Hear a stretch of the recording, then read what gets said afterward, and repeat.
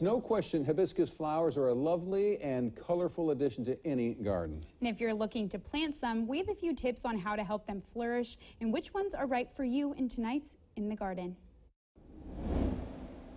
This week we're talking hibiscus, and you have maybe seen one of these types of hibiscus plants before, tropical hibiscus plants, mm -hmm. but there's a lot more other varieties, Caleb. Can you tell me about some of the different ones here and some of their unique traits? Yeah, definitely, yeah. A lot of times people think of hibiscus as the ones you see in Hawaii or the mm -hmm. beautiful pictures, and we certainly have those. They're great. They're uh, a tropical look.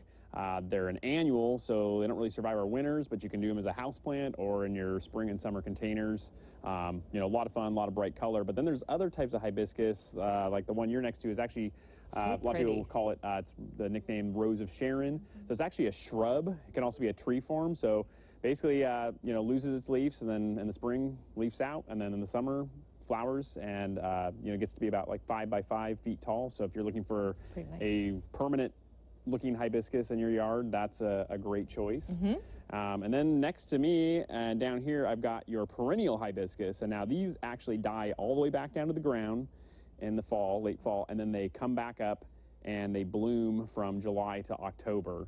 Um, this guy right here is a very tall hibiscus, and this one's a little bit shorter one. Mm -hmm. And what type of care do these plants need? Do they need a lot of care, a little care? What's kind of? Um, they need a sunny location, and then really uh, the biggest thing is when they start to flower, they're using a lot of energy, so they're definitely going to be heavy feeders. So make sure you're fertilizing them with either a slow release or a liquid. Well, who knew there were this many varieties? Thank you so much, Caleb. If you have any questions about hibiscus, you can head to our website at kezi.com.